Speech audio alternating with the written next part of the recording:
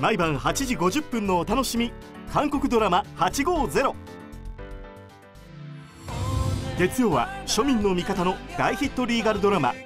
町の弁護士チョドゥルホ2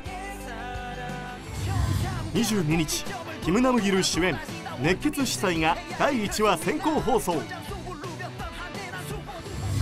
29日からはキム・ドンウク主演勤労特別監督官チョ・ジャンプンがスタート。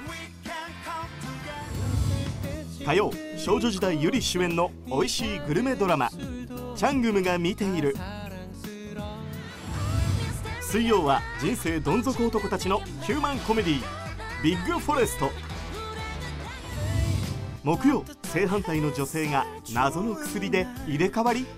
春が来るのかな春。金曜チャンナラチェジニョク主演のラブサスペンス。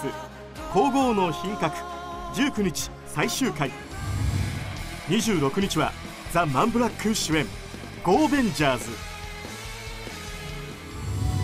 土曜は時代劇の申し子ヨジング白真の一人二役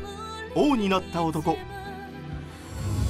日曜は韓国で大ヒットしたドタバタハートフルドラマ「どうしたのプンサンさん」